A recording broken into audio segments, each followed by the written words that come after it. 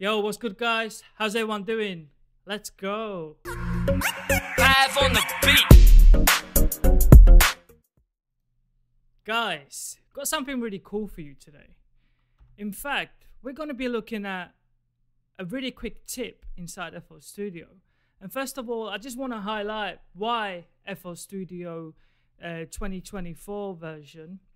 So we've got two different versions of FL Studio. Is I'm a member of FL Studio. I've got the producer edition, and this is uh, the late uh, 2023 version.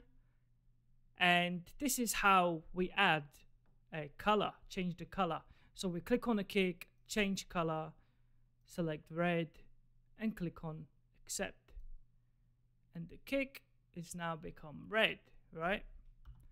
And if we want different color, we click on color, change color, purple, accept, hi-hats, do the same.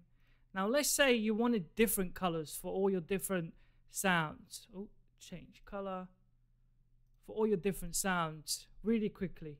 So when you open up the mixer, which is over here,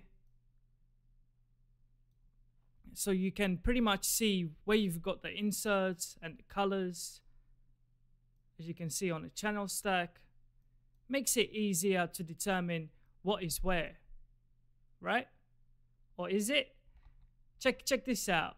FL Studio um, 2024 however is a bit different. You can just right click and they've added some feature called random color. Now you can just click on it and it applies random color just like that. So I just wanted to share this quick tip. If you guys want to change the color of any samples within your loops, if within your drum pattern or the patterns that you're working inside a channel stack, you can always right click on it and change the color if you don't like it, random color, just like that.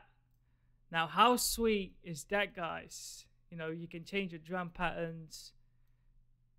Six, seven, eight, one, two, three, four, five, six, seven, eight. And you can also assign to a new instrument track with just a click of a button. Do that for all of them.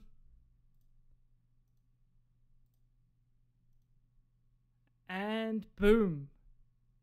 Now, as you can see on the right hand side, we've got instrument tracks, open up the mixer, and we've got all the sounds added at the top, just like we just did with all the different colors.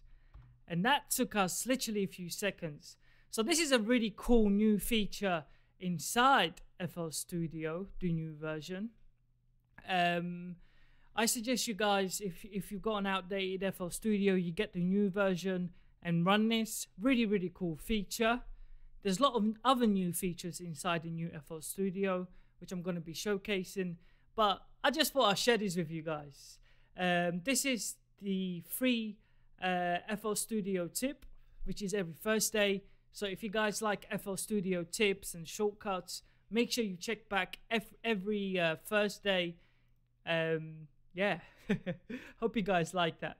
Uh, 6 p.m. UK time, we upload uh, every day. So different guides on different things. Again, if you guys enjoyed this and you didn't know this about FL Studio, hit the like, subscribe, and hit that bell icon. Also, drop below on what you want to learn inside FL Studio. Drop it in the comments. And apart from that, hope everyone's cool. Peace out, subscribe, and enjoy the new feature of color coding inside FL Studio. Peace.